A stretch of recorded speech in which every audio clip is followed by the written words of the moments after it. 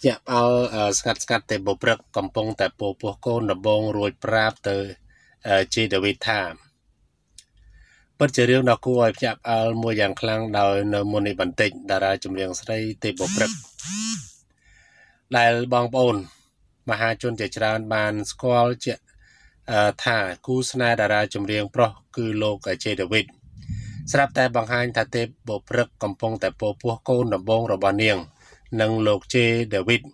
ជាសាធារណៈក្រោយតាក់ទងគ្នាអស់ជាច្រើនឆ្នាំកន្លងមកនេះនៅក្នុងករណី Facebook របស់តារាចម្រៀងទេពព្រឹកបានបង្ហោះសារថាអំណោយដែលមិនអាចកាត់ថ្លៃ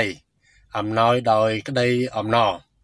ជាក្តីប្រាថ្នាដែលកើតមាននៅក្នុងចិត្តស្ត្រីនិងមនុស្សគ្រប់រូបដែលប្រាថ្នាខ្លាយជាមេដាបៃតាដែលពោពេញទៅដោយក្តីមេត្តាករណា និងព្រមវិហារធម៌នោះ ទើបបានបង្កើតជាឈ្មោះថាបេដាជាព្រះដោយកិត្តិយសក៏សូមប្រកាសពីកាដូពិសេសដែលពួកយើងទទួលបាន ពីព្រោះថាជេដាវីតបានក្លាយជា handsome daddy ជាផ្លូវការហើយដោយហេតុនេះសូមចែករំលែកដំណឹងនេះទៅកាន់អ្នកគ្រប់គ្រងអំពូមេងលោកតាលោកយាយដែលតែងតែស្រឡាញ់គ្រប់គ្រងដល់នាងខ្ញុំ ទោះជានៅក្នុងកលៈទេសៈណាក៏ដោយដោយនាងខ្ញុំបានរីករាយនឹងចែករំលែកដំណឹងដ៏ល្អក៏ដូចជាភាពសប្បាយរីករាយនៃ